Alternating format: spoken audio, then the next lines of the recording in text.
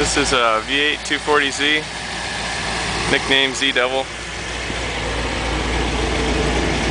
It's got a California, Jim Cook California Z wide body kit on it.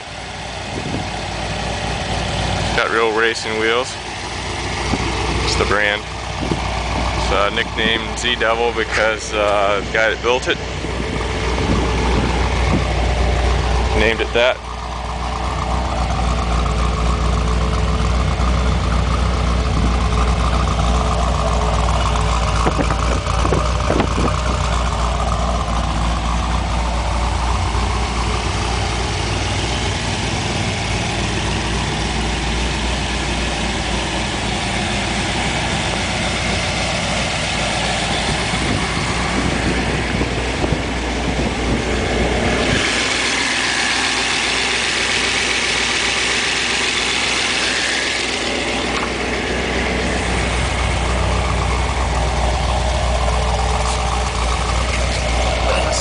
feels like.